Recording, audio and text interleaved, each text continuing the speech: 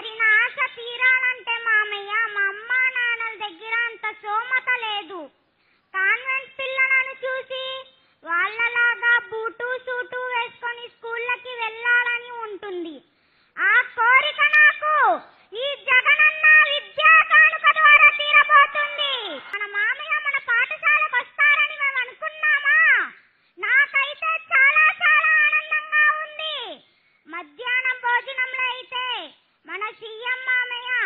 మంచి పౌష్టికాహారం అందించారు.